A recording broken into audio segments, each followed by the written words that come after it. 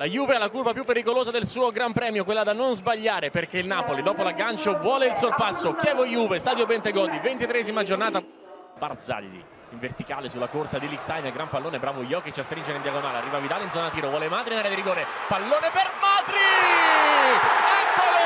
Alessandro Madri, l'uomo dei gol pesanti, Juventus in vantaggio dopo 10 minuti va dentro Matri, Giovinco lo va a cercare, pallone di ritorno interessante di Matri nell'area di rigore, Giovinco, Giovinco, Giovinco!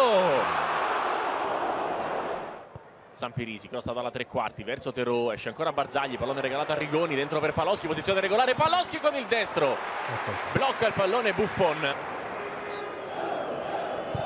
Va Pirlo fuori a cercare Vidal, è uno schema, deviazione, pallone in calcio d'angolo, si è immolato Cesar. Taglia il campo a cercare Licksteiner, la palla rimbalza, Licksteiner la ruba Jokic, Licksteiner in area di rigore, calcia, ma bravo Pugioni a respingere, poi Madri dal limite, calcia alto. Giovinco ancora a cercare Madri in area di rigore, protegge col corpo, si gira sul sinistro, sta arrivando in area di rigore ancora Giovinco, Giovinco col tacco, lascia lì il pallone per Licksteiner, il gol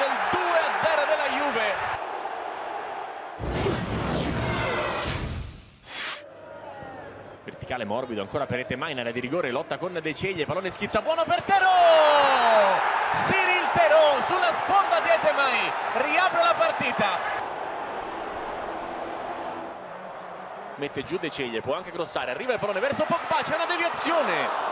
E Juve vicino al gol del 3 a 1 scaduti tre minuti di recupero vince la Juve una gara fondamentale nella corsa allo scudetto e rimette tre punti di distanza tra sé e il Napoli 52 a 49